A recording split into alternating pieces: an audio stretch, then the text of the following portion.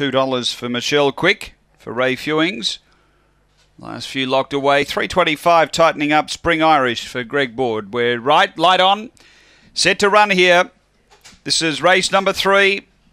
Ready to go. They're away.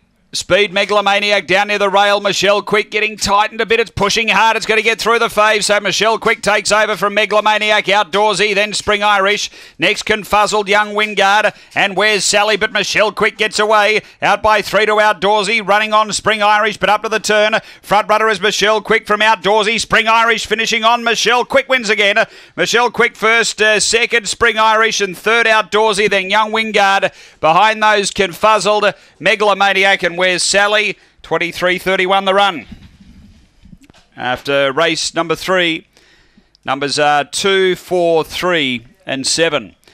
Number two, Michelle Quick, Ray Fewings, owner trainer. A Fawn Bitch, May 2015, Barcia Bale, Bally Swift.